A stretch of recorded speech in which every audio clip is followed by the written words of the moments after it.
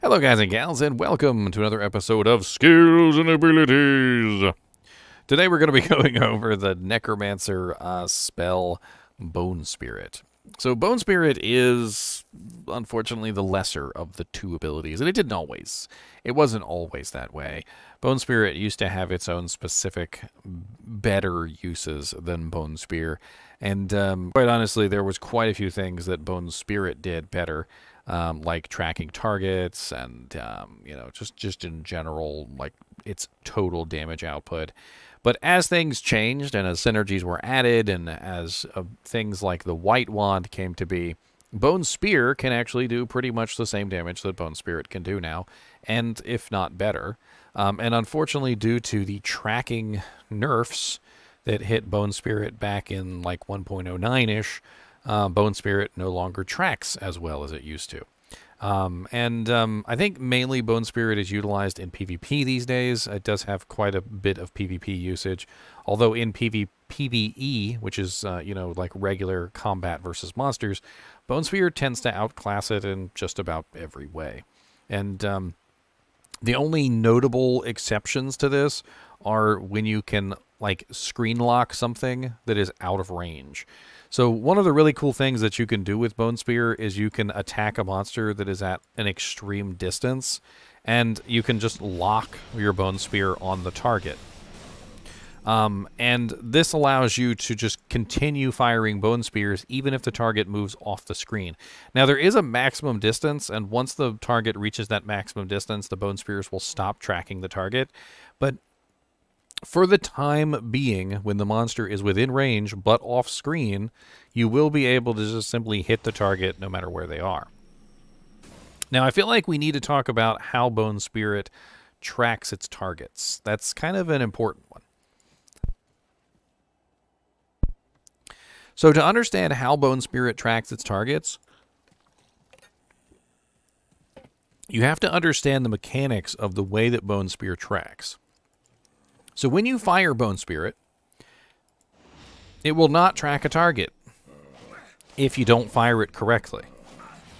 Notice it tracked and it hit him then, but not this time. So why is that specifically? Why is it only tracking and hitting him when I fire it close enough to him? Um, and the reason is is because when you fire Bone Spirit, Bone Spirit will not hit or target anything until it reaches its target destination. So, in other words, if I fire Bone Spirit and I say, Bone Spirit, I want you to go to that rock over there, Bone Spirit will travel to that rock, and then upon reaching the rock, will decide who it wants to hit from that point. So, notice if I fire at the rock, it will not hit the zombie that's over there. If I fire at this tree, it's within the search radius of the actual skill, and it will turn and come back to hit the zombie. But it really depends on if you're shooting it at the correct distance. So if you fire next to yourself, for instance, like this, the search radius is going to be around you. Um, imagine the search radius is like a small aura, and anything within the aura is going to be hit by the bone spirit. Um, and as long as you're firing your bone spirit near where the monster is, the bone spirit will reach its destination and then turn to come back to the monster and hit them. Um, this is important because if you are firing your ability like way over here or something, the search radius is over here. It's not over here. It's never going to hit this zombie behind me because I don't have the search radius on top of the monster. Um, and for the same reason, let's say, for instance, I was way over here and I wanted to hit this monster, and I was firing them like this.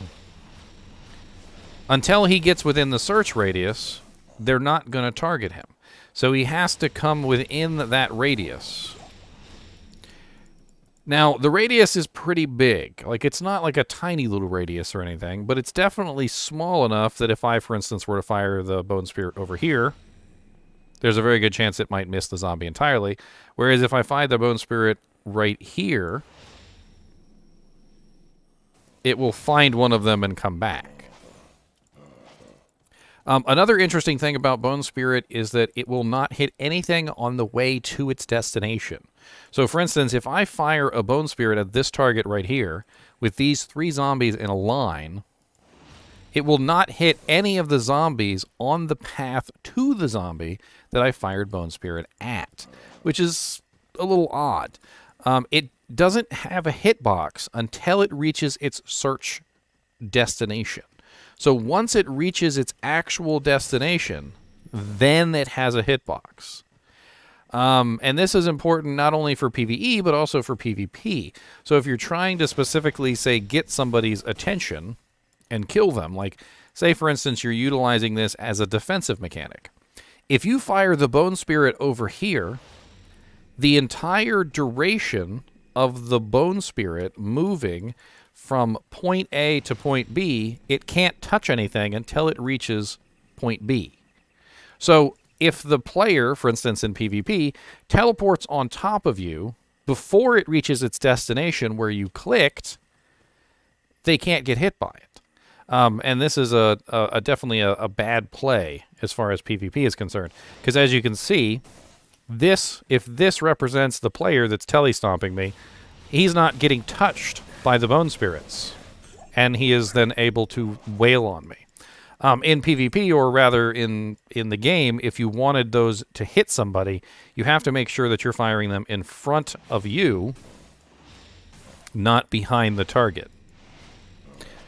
Now, if it's close enough, if the destination that you send the bone spirit to is close enough, it will return, as you can see. However, if it's too far away, it won't return. Um, and this is all very advanced mechanics when it comes to Bone Spirit. Um, in the old days, before um, I think 1.09, um, Bone Spirit used to turn corners. So it's a very interesting thing is that like you have to have line of sight of the target that you're fighting. Um, let me see if I can find a nice little area to show you what I mean. Um, so let's say, for instance, I'm Oh, conviction. Wow. All right. It's a little spicy. I need to find a nice little corner to show you this. Unfortunately, uh, it's probably about the only place around here that's going to work. All right, so here's a nice little corner right here. And um, what I'm going to show you is that if I don't have line of sight of the target, he can't be hit. So even though these guys are technically within the radius Notice the Bone Spirit won't turn to them. But once he comes around the corner, the Bone Spirit will turn to him. But the zombie right here, which is totally within the search radius of the Bone Spirit, does not attract the attention of the Bone Spirit because he's not in line of sight of my Necromancer. So you have to keep this in mind when you're thinking about how your Bone Spirit will track a target is that it will not track any target that is not in line of sight of your necromancer. Now, back in the old days, like I said, this wasn't the case. You used to be able to fire your bone spirits around corners, even. So, like, I could stand right here and fire this, and the bone spirit would automatically go around the obstacle and hit the target. Um, and ever since they changed that, they definitely have kind of like unfortunately made Bone Spirit a lot worse of an ability. One of its main and most redeeming characteristics was the fact that it could track a target almost indefinitely and even around obstacles. And now, unfortunately, as soon as the target has left line of sight, um, it can no longer track them at all.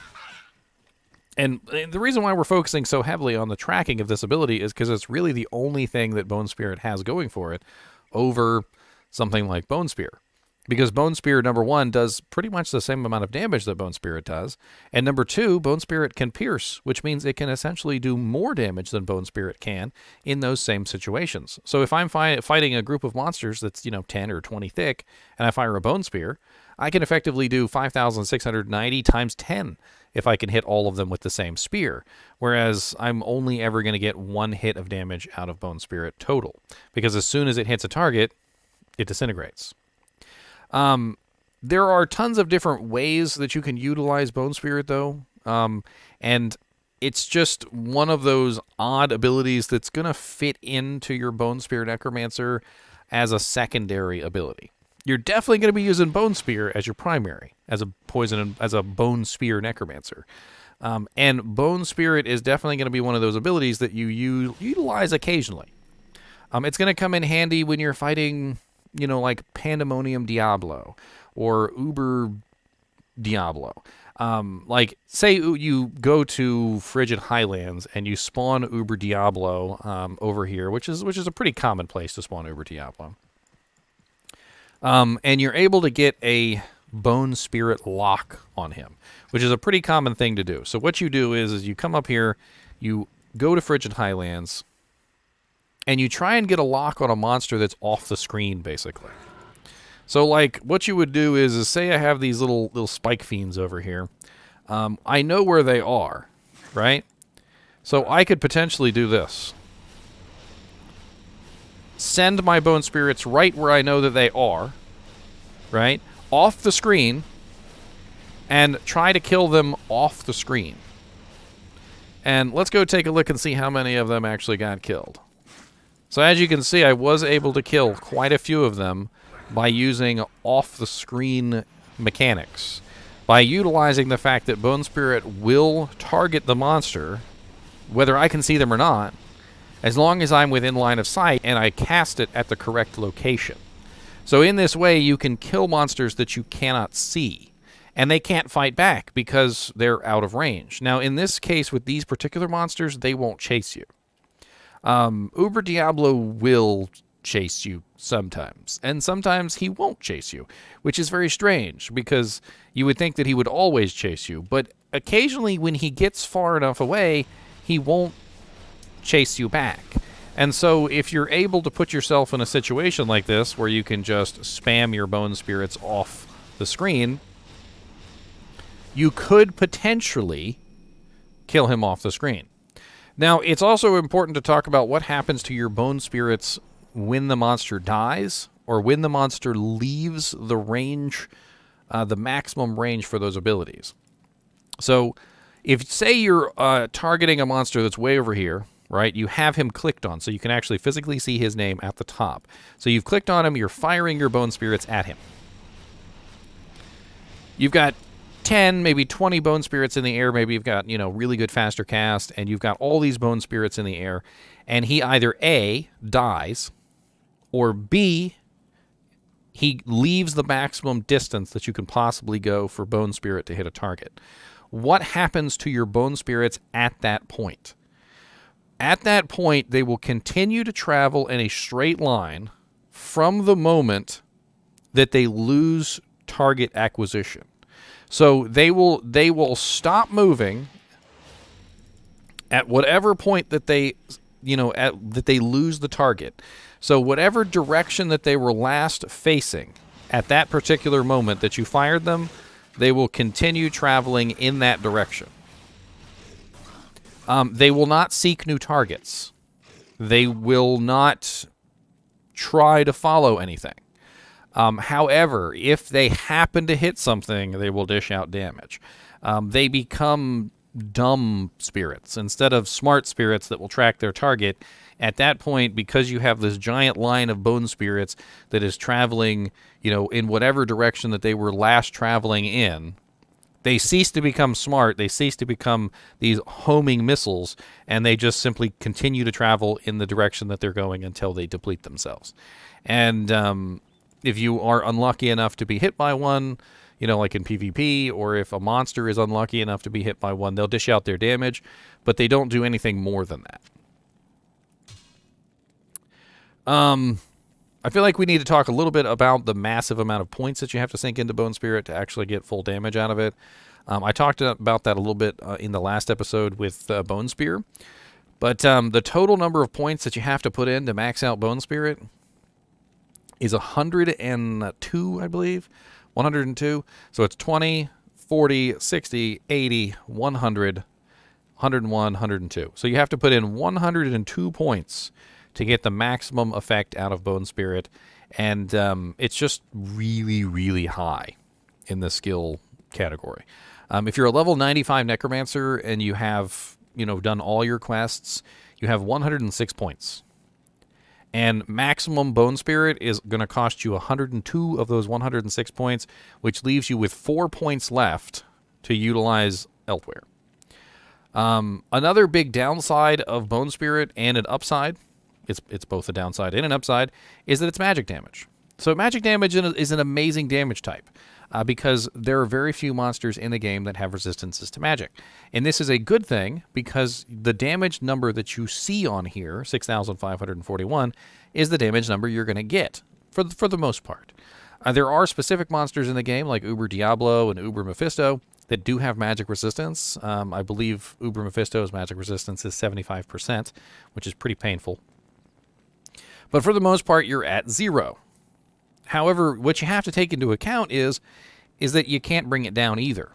So whereas a lightning or a cold sorceress or any other character could potentially bring a monster's resistance down to negative 100%, effectively doubling their damage output, there is no way to bring down the magic resistance of a monster, which means that again, you're stuck with exactly what you get. It's not going to be any lower than 6,541 for most of the monsters in the game, but it's also never going to be higher than that either. Um, and, you know, just to give you an example, a cold sorceress could be dishing out like 11k cold damage and then reduce that resistance down to negative 100%, effectively increasing that to 22,000, right? With Bone Spirit, you're doing 6,541, and since there's no way for you to double that damage, you're always doing 6,541. And if you ever come across a monster that's immune or highly resistant to magic, which does happen in Uber Tristram and some other zones, you're not bringing that resistance down. So your damage is only ever going to go down when it comes to Bone Spirit in, in PvE. Um, and it does make Bone Spirit and Bone Spear relatively ineffective versus things like Ubers, because Ubers do have extremely high magic resistance for some reason. Um, all in all, I do think Bone Spirit is a fun skill to play around with. And um, if you are a Bone Spear Necromancer, you're going to have maxed out Bone Spirit anyway. So it's going to be something that you're going to be able to play around with. It's going to be something that you can PvP with. But um, overall, I think it's kind of lackluster compared to some of the other Necromancer builds. Um, and it really comes down to that massive skill sink. Um, if you think about the Poison Nova Necromancer, the Poison Nova Necromancer can build 20, 40, 60 and still has, you know, quite a few points that they can throw in elsewhere. They could build a little army for themselves. They could grab a nice golem. They could get, uh, you know, some fancy curses. Whatever it is that they want to do, they've got extra points to play around with, right? The Summon Necromancer, same thing. You can put 20 points into Skeletons, 20 points into Mastery. You got 40 points there. You get yourself a nice Golem.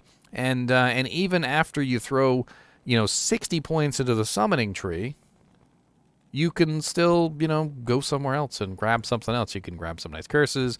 You can uh, maybe throw a couple points into your armor, maybe grab a bone wall or something. You know, you've got like some extra points that you can play around with. But the bone spear and the bone spirit tree has no extra points. They've got nothing. They've got a whole four points left over at the end of their 102 point ridiculousness at level 95, and uh, and those two points I mean, those uh, four points that they've got left over, they're going to throw one into amp damage because it's a no-brainer. You definitely need amp damage at some point. Um, and they're going to try to get Decrepify if they can because Decrepify is the best curse for the Bone Spirit and Bone Spear Necromancers. They're definitely going to try and grab a Golem.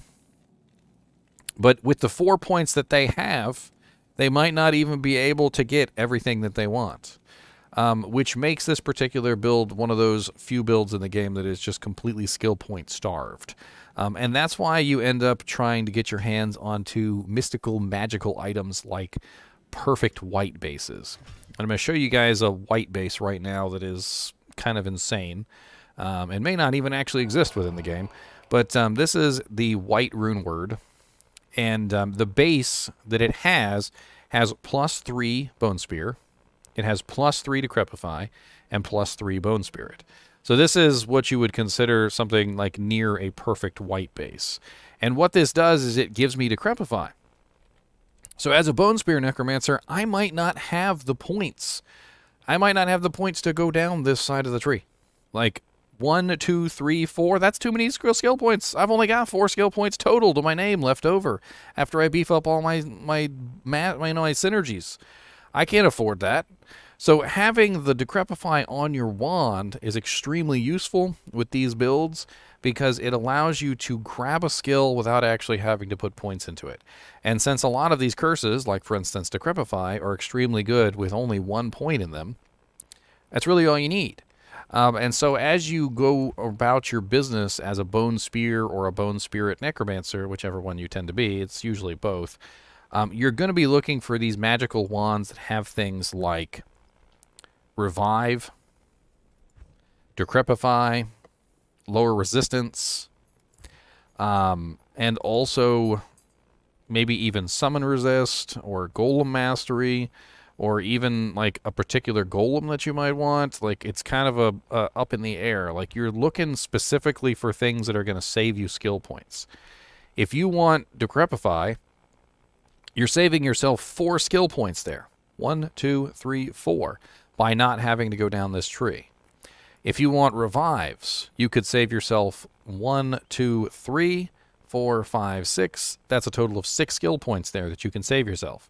And as you can see, we clearly don't have enough skill points to grab everything. So, and a very optimal white base for a PvE Necromancer would be something like this. Plus three Bone Spear, plus one to three Decrepify, and plus one to three revive. That's usually like one of the most optimal wands that you can get for a bone spear slash bone spirit necromancer because that's going to save you six skill points here to get down to revives, and it's going to save you four skill points here to get down to decrepify, um, which is a total savings of 10 skill points for a character that doesn't have enough skill points to do anything. And then you can take whatever skill points that you do have, those last four skill points, and you could maybe put them in skeletons and skeleton mastery, and maybe grab yourself a golem. Um, in fact, it's it's difficult to even get down to summon resist because if you put one point in skeleton, one point in skeleton mastery, one point in clay golem, and one point in golem mastery, that's your four points right there, and you don't even have another point to put into summon resist, which is actually pretty imperative if you actually want to utilize any of these summons. I think that covers pretty much everything on Bone Spirit. Um, Bone Spirit definitely is an odd ability, and uh, maybe in the future, if they do a little bit of tweaking, maybe take out some of the synergies, um, so that it's not so ridiculously oppressive in terms of you know how many skill points it costs. It could maybe come back as a useful skill for like hybrid builds. But as it is right now, with a hundred skill point, 102 skill point investment to get any real good use out of it, it's it's never going to be a good hybrid ability. Um, as always, thanks for watching and uh, keep watching.